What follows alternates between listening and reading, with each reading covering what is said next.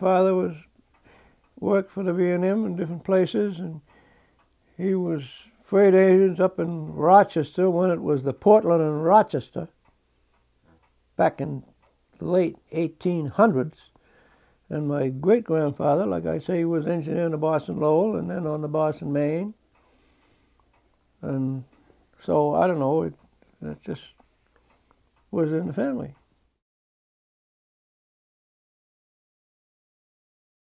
We get orders, train train orders, out of uh, Mystic, and uh, the yard master, uh, yard seven, would give us a train order, and I think those orders read like this: C&E engine 1459 Work extra between Fins and North Billerica, not protecting against extra trains, and wait at Bennett Hall until 345, I believe it was. Well, now the reason for that was there was a passenger train that came out of Middlesex. It was a six-wheel switcher and a couple of old dilapidated coaches and this ran as a passenger extra. And it would pick up the gang, the shop gang up at Lowell, and go down the main line to the shop switch down near East Billerica, and then back up into the yard.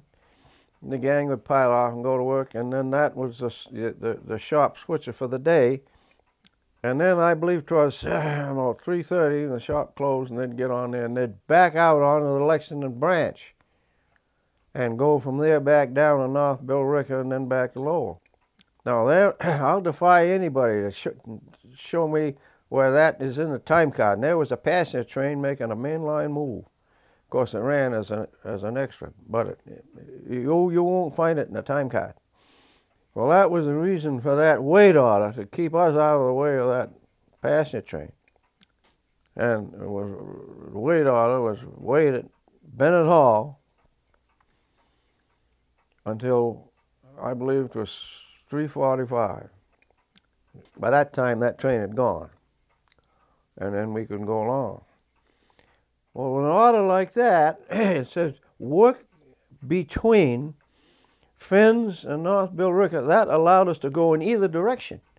Now, if the if the order had, had read uh, C&E engine 1459 run extra Fins to North Billerica, that didn't allow us to go the other way. But to work between, that allowed us to go both ways.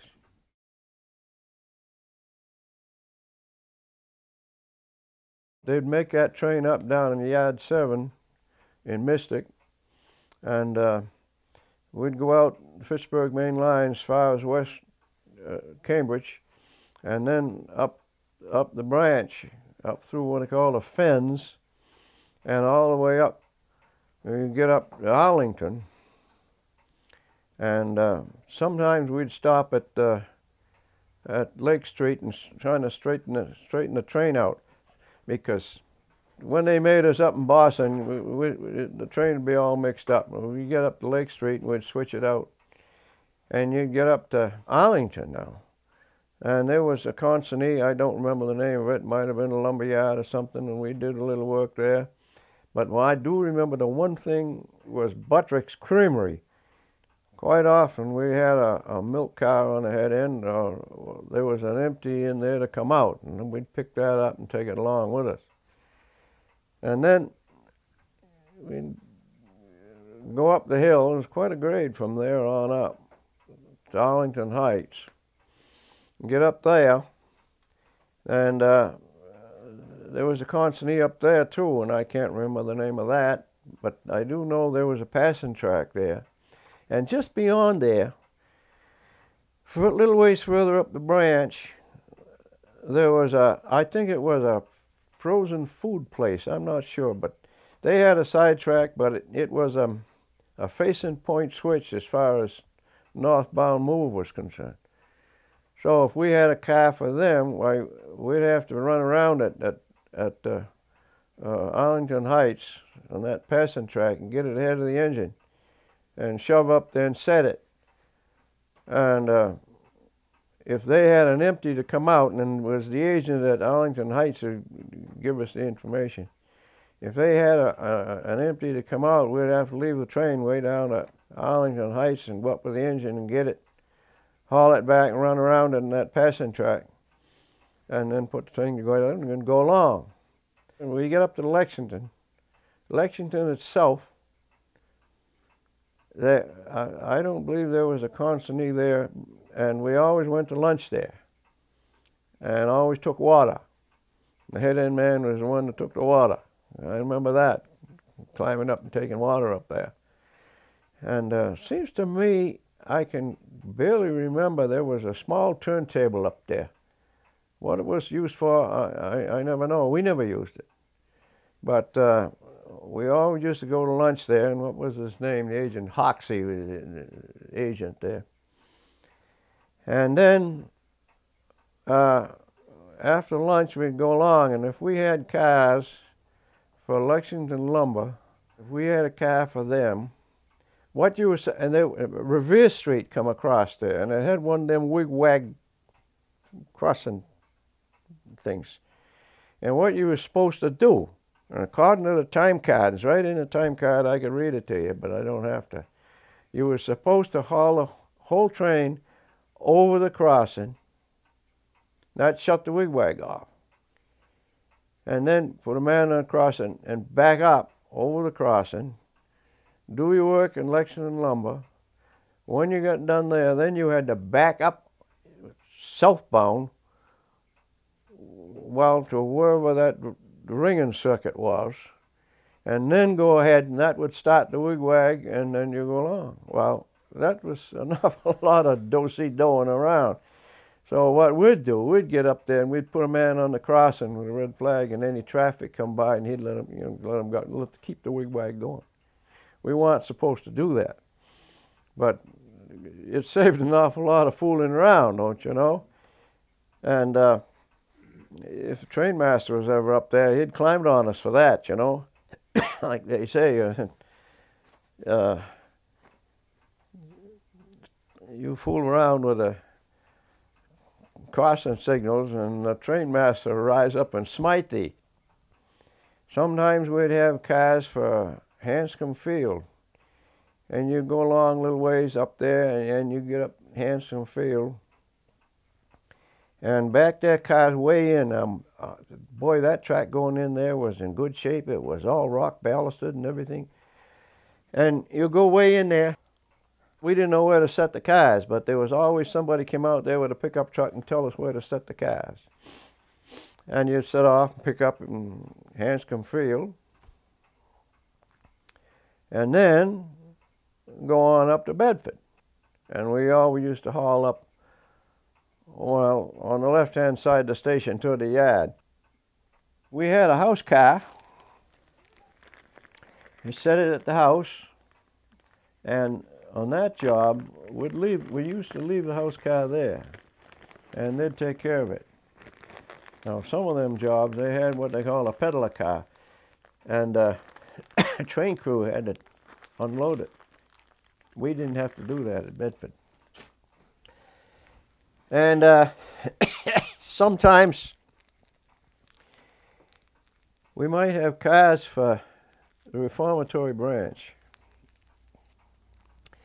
Well, I didn't know, I didn't think much of that reformatory branch, I'll tell you, because they had uh, derailments up there, and we'd creep up there, and uh, I think uh, 25 miles an hour was the speed limit on that branch.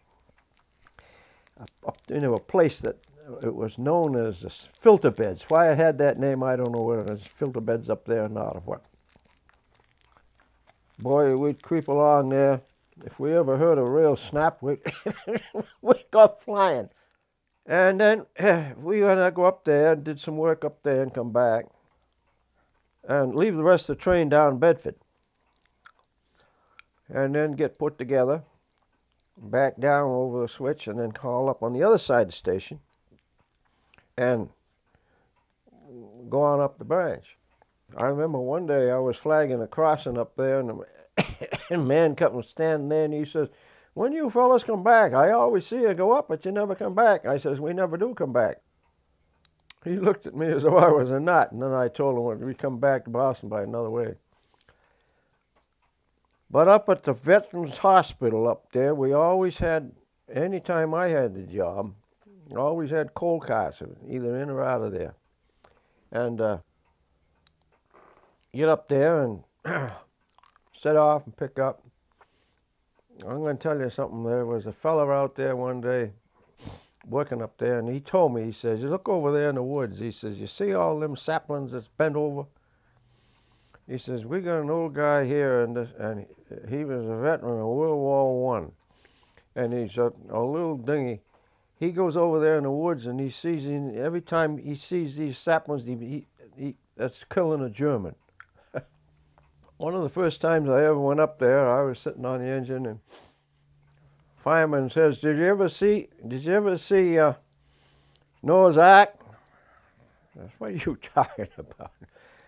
Well, he showed me that there was a place down there off on the left-hand side. I looked. He showed me, and it was like a, a little pond and looked like a Japanese kind of a bridge over it, and a knoll. And up on top of that knoll, there was a thing that's shaped like a badge, and had a shed on it, a house on it. He said, "It's Noah's Ark." I "I don't know whether he's figuring on the flood or what, but." And, and that thing was there Oh, I suppose it's all gone now, but uh, that thing was there all the time. I, I, I had to cover them jobs up there. Of course, the rest of that branch, uh, there was a siding, and I think it was what we called uh, Center.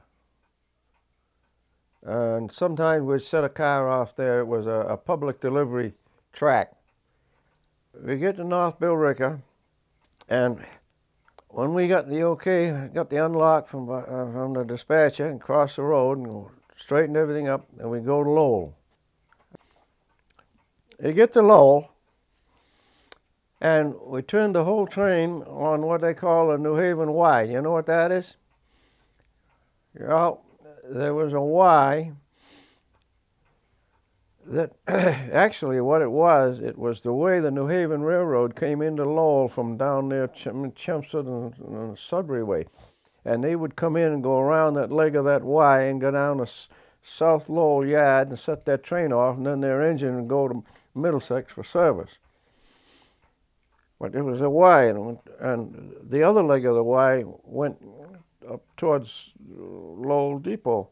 And up at the top of this Y, was a, was a, a switch uh, that had a lock on it. We used to call it the bear trap. And it, it, either a New Haven switch key would work it or a B&M switch key would work it. I can't describe that thing because it was, eh, it was something else. But anyway, we'd go up that leg of the Y and get the iron back down the other leg, and we always took water when we got down there. And then go down South Lowell Yard and pick up any cars to go to the shop. And then when we had a run, go down the main line to the other shop switch and back the whole train back up into the yard and set off and pick up and do whatever. And then when we got a run, we'd come back out and down the main line to Boston. I caught that job one day, and I forget who the engineer was, and I don't know whether he was a regular man on there or not. But somehow he'd been he'd been finding a bottle all day long. I don't know where. And by the time we got up to the to the shop on the way back, and he was out of it. And conductor come down and he asked the fireman, he said, Can you run this engine? Because we are going from there on just into into Mystic. He says, yeah, I can run it. So he asked me, can you fire it? I said, yeah, I'll fire it. So we took the engineer, we laid him back in a coal pile, and we went from Bill Billerica shop back into Mystic, fireman running, and me firing. I don't know what what the situation was when they got at the engine house. I never never heard any more about it. We got down in there one day, backed off in in the, in the yard. We set off and picked up and got ready to go to Boston. And I looked back, get a motion from the hind end. Figured I'd get a high ball. I got a back up motion. I said, the engineer, I said, they want to shove back. We, now, them moguls, that's one of those Armstrong Johnson bars, you know. Heave it over. So he heaved it over and we started shoving back and I got a stop motion. Stop. Then I got a go ahead motion like this. Heave it over again. Haul ahead, stop motion. Then I got a back up motion again. He wants to back up again. Heave it back, shove back, stop. The engineers, for God's sake, go back and find out what they're doing back there. what they were doing, they were cutting wood for the buggy stove and running the buggy over it back and forth like that. I, I didn't dare to tell the engineer that. I went up, I said, they're trying to make a hitch that they won't make back there. But uh, he'd have gone back with a coal maul and straightened things out, you know. Because that, those Johnson bars, you know, boy, they could put you through the side of the cab if you wasn't careful.